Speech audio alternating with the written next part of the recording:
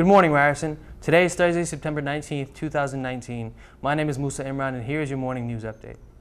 The first vaping related illness in Canada was confirmed yesterday. Doctors diagnosed a youth in London, Ontario with a severe respiratory illness resulting from the activity. Health Canada recently announced a list of warning symptoms for people who vape, such as excessive coughing, chest pain, and fatigue.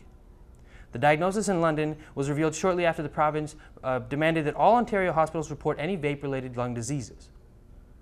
Ryerson's Community Safety Department will be running training sessions on how to deal with the unlikely event of an active attacker on campus. The program called Get Out, Hide, Fight will be a series of workshops open to students, staff, and faculty.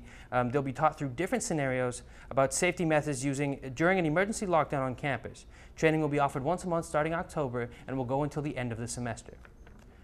Toronto police are looking for a man who allegedly exposed himself to another passenger on a GO train last weekend. Police say the man boarded a train on Friday at Union Station and got off at Downsview Station. A 34-year-old woman notified police after he showed himself to her during the trip. The man is described as uh, in his mid-30s uh, with short black hair, a medium build, facial hair. He was wearing a white, a white V-neck t-shirt, tan pants, and had on a black backpack.